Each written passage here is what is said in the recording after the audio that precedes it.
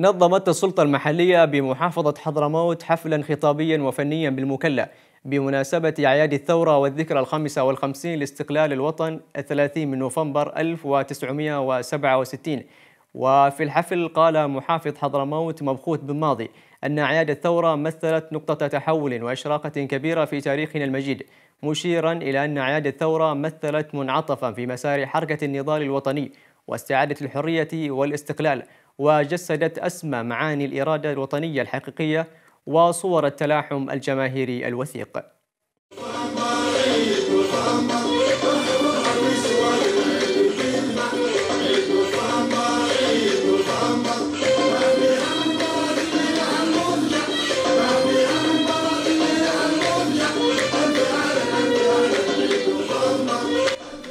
نوفمبر المجد يا أيقونة اليمن. أقبلت بالأمنيات البيض للوطن. هكذا غنت حضرموت. في مساء جميل تلألأت فيه أنوار الاستقلال وتداعبت فيه أطياف الوطنية تهتف للوطن والثورة والحرية.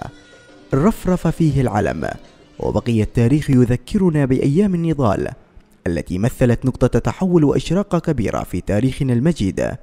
من هنا نظمت السلطة المحلية بمحافظة حضرموت في مدينة المكلا.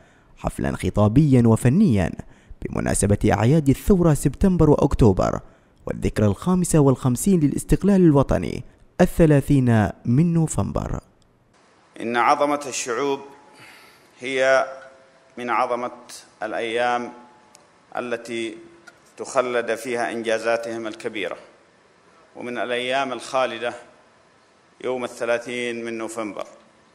ذلك اليوم الذي سطرت فيه القوى الوطنية اليمنية أعظم الانتصارات بعد الكفاح المرير الذي دام أربعة أعوام خاضت خلالها الجبهة القومية والقوى النضالية التحررية الأخرى أقوى وأعنف المعارك ضد الاستعمار البريطاني ضد الاستعمار البريطاني في الجنوب المحتل مما أجبر بريطانيا العظمى على الرحيل من عدن وكامل مناطق الجنوب العربي وحضرموت ليعود الحق لأهله.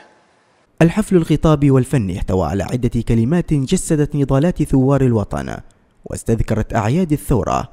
كما تخلل الحفل فقرات فنية وطنية أحياها الفنانون محفوظ بن بريك ومحمد الناخبي وشادي بن جابر بصحبة الفرقة الفنية التابعة لمكتب وزارة الثقافة بالمحافظة.